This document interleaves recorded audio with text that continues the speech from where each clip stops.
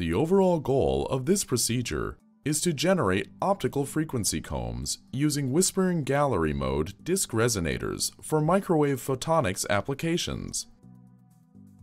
The first step is to grind and polish the rim of a crystalline disc until the scale of its surface roughness is sub-nanometer. The second step is to measure this surface roughness using a Mirau interferometer microscope. Next, a single-mode optical fiber is drawn while heated with a blowtorch in order to obtain a tapered fiber with micrometer scale diameter.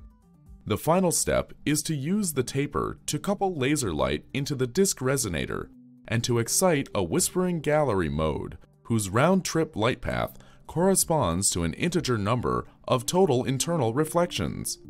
Ultimately, the pump power is increased and other Whispering Gallery modes are excited via the Kerr nonlinearity. This leads to short pulses in the temporal domain and a frequency comb in the frequency domain.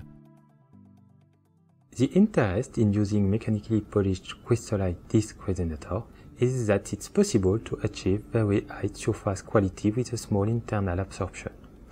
The surface roughness can be accurately measured using a customized optical profilometer and the related quality factor is measured using the cavity ring-down method. To launch the light into the disc resonators, we use tapered fibers fabricated in our lab. Unlike other methods, tapered fibers provide the very high coupling efficiency needed to trigger nonlinear effects at low pump power.